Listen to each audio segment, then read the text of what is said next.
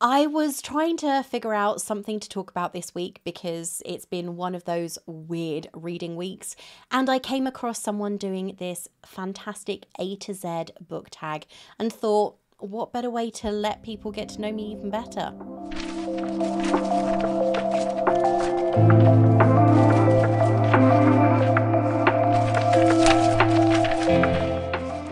Everyone, it's Raye. Welcome to my little bookish corner of the world, which is constantly growing.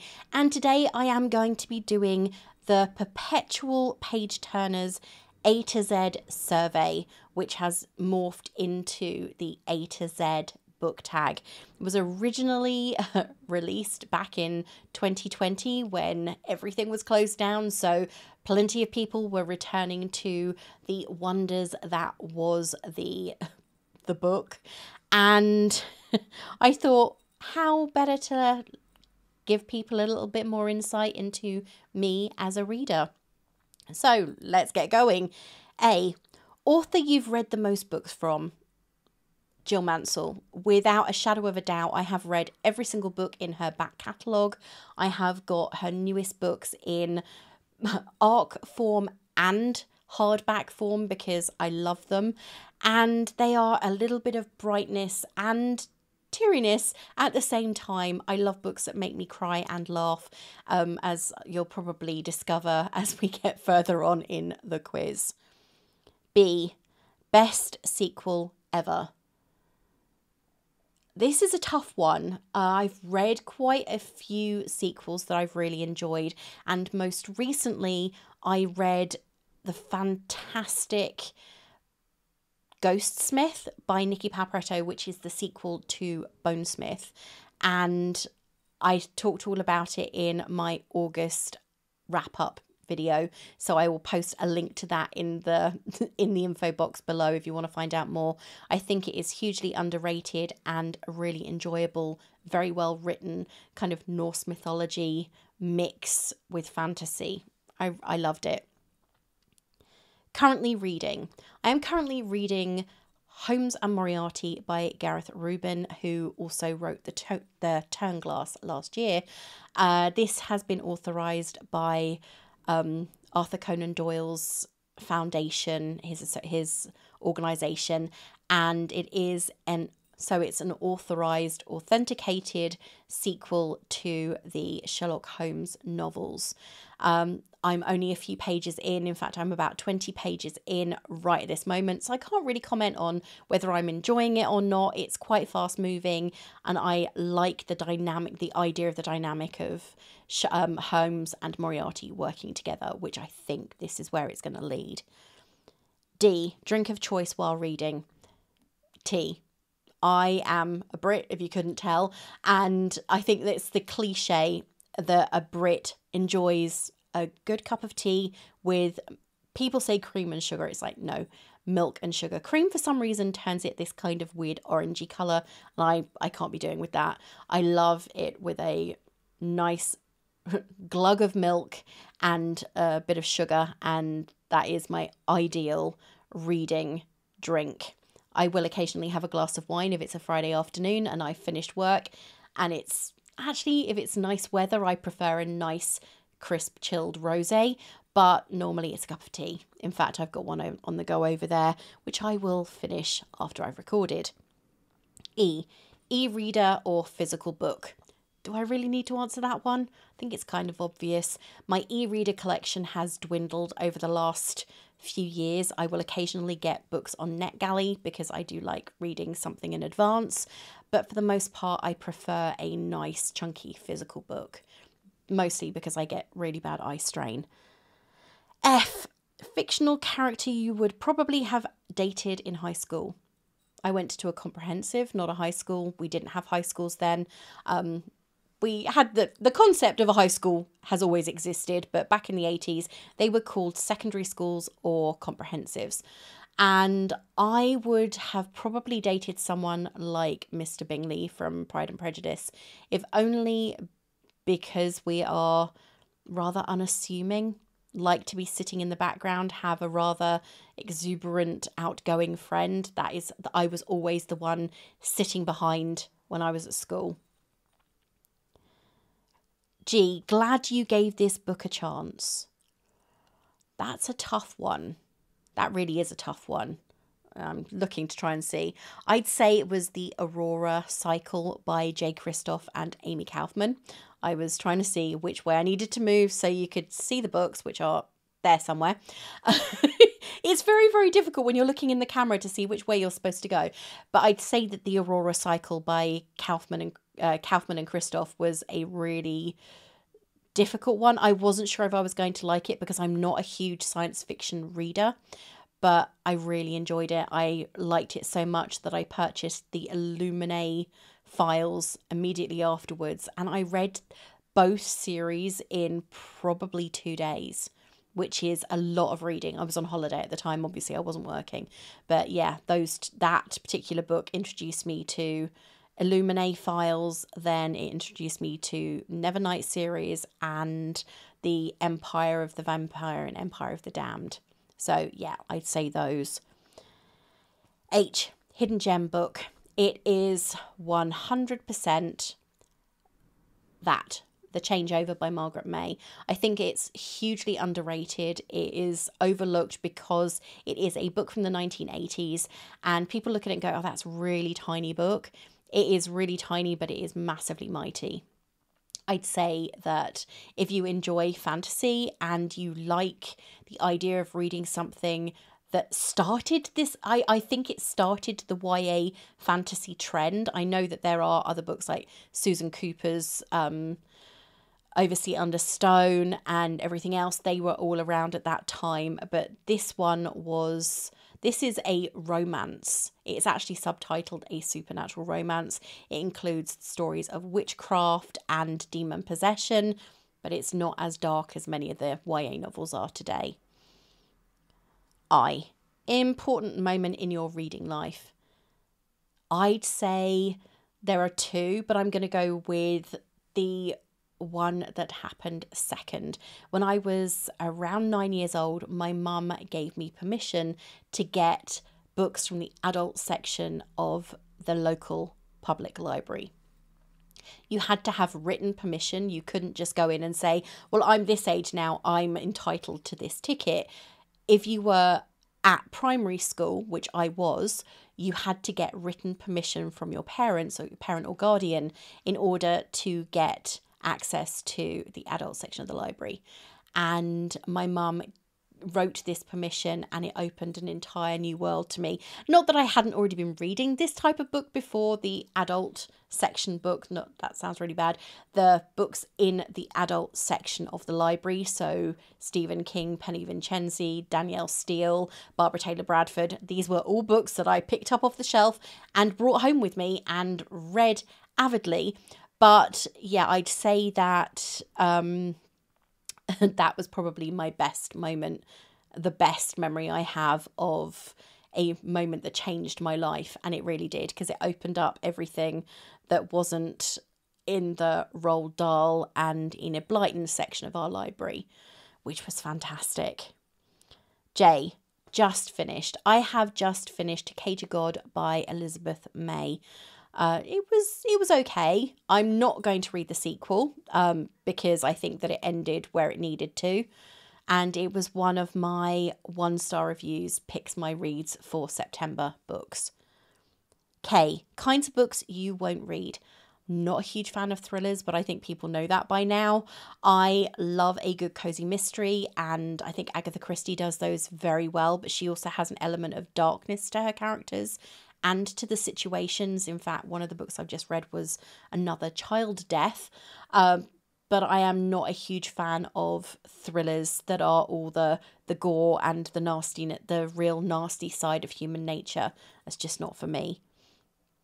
L, longest book I've read.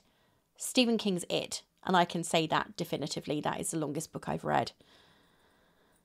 Major book hangover because of yeah, because of Clytemnestra, had the biggest book hangover after that one. I don't think I read anything for a week because that book turned my emotional levels inside out. It was exquisite. That's all I can say. It's exquisite. number of bookcases you own. You can see three of them behind me.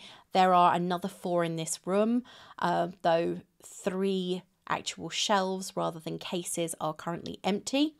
Um, then in my bedroom, I have two full bookcases that are the same size as the one that's right behind me. And in the lounge, I have another two bookcases, one of which is full of books, and the other is full of my DVD collection, which includes a lot of really random films. Oh, one book you have read multiple times. A Room with a View by E.M. Forster. It is a constant revisit. I first read it when I was 13, 14 years old and have reread it every year since. So 37 years of rereading. That's a lot of rereads. P. Preferred place to read. Depends on the season. During the summer, at the late spring, summer, and early autumn, I will I love to sit out on my balcony, looking out over my plants, which are slowly currently dying because it's the season, and the sun sort of streaking over because I fate my balcony faces east. And I love sitting out there of an evening and in the morning before I start work. However, during the winter, late autumn, winter, and early spring, I prefer to sit in my living room, slouched on my sofa, wrapped in a blanket with my cat on my lap, and I will read my books there. Q. Quote that inspires you. I don't don't, think it so much inspires me as it just gives me the feels, and it is from one of my favourites, Madeline Miller's Circe. In fact, it's the opening paragraphs of that book.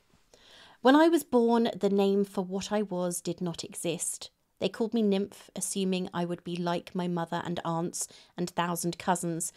Least of the lesser goddesses, our powers were so modest they could scarcely ensure our eternities. We spoke to fish and nurtured flowers, coaxed drops from the clouds of, or salt from the waves. That word, nymph, paced out the length and breadth of our futures. In our language, it, it means not just goddess, but bride. There's something about this book and the way that she evokes these emotion, intense emotions in the reader for the main character, Circe. It's just so powerful, and I can't stop thinking about it. In fact, it's another of my book hangovers from a few years ago. Reading regret that I'm not going to get to read every single book uh, ever published because there just isn't time and books are constantly being released.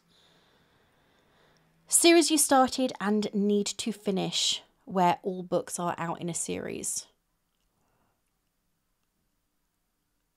I think The Invisible Library by Genevieve Cogman is one. I've read the first couple of books and I've got the rest of them. I just haven't read them, mostly because they're on my Kindle rather than physical. So I think if I got them as physical books, which I might look into at a later date when I haven't got such a massive TBR, then that's probably the series that I will complete. Three of your all time favourite books. Pride and Prejudice has to be up there as one of my all time favourites. It wasn't when I first read it when I was doing my A levels at 18. I hated it so much that I said, I actually wrote in my exam paper, this book sucks. But when I read it later on, when it wasn't an enforced text, I loved it and I couldn't get enough of it.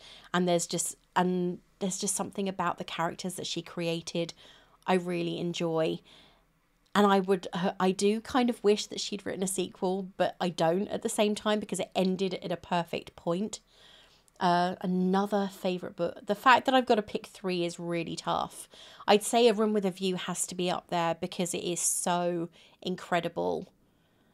And then, oh gosh, only three. So, yeah, I think it has to be Circe by Madeline Miller.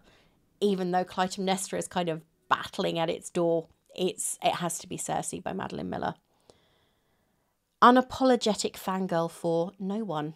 I love a lot of authors, but I don't think I'm going to go all um, and bedeck myself in t-shirts and everything else. I do a lot. I really enjoy a lot of authors' work, and yeah, I, I don't think I'm a fangirl for anybody. I'm just equal opportunity.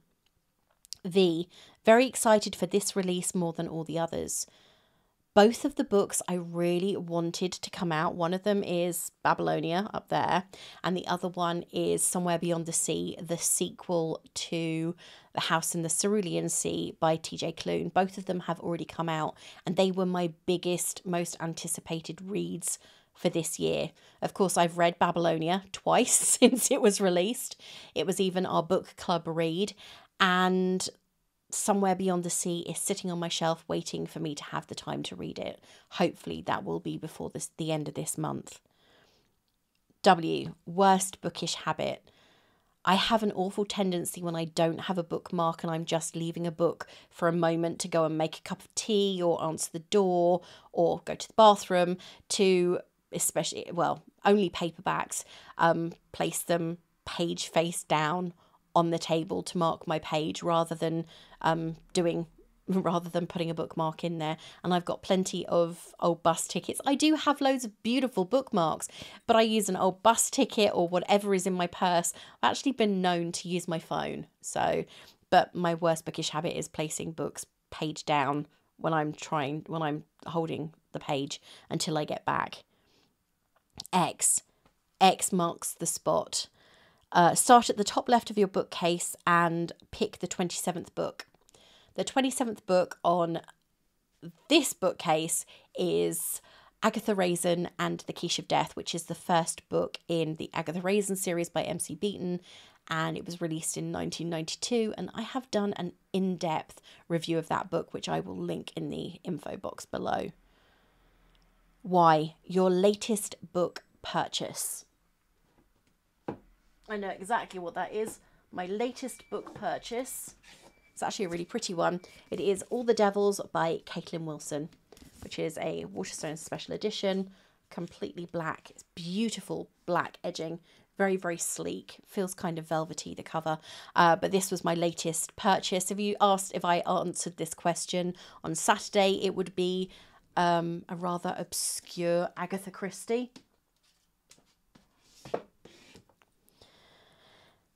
Zed ZZ Snatcher book, last book that kept you up way late. I honestly don't know. I think I ended up with wrist ache. I think it was Empire of the Vampire. I was reading it, I was trying to get through it. I actually read it in one day because I finished it after midnight well, one 24 hour cycle, should I say. And I think that was the last book that I actually stayed up late for because I remember thinking I wish that there was some kind of wrist support I could have because it is such a heavy book. But that was it. So if you've got any questions about anything I've talked about, if you've actually if you share any of my favorite books or my book dislikes or anything else, please do let me know. And of course, don't forget to um, subscribe if you aren't already. Please join me. And that was a really, really bad facial expression. And of course, um, come back again because I absolutely love talking everything bookish. Until next time, bye.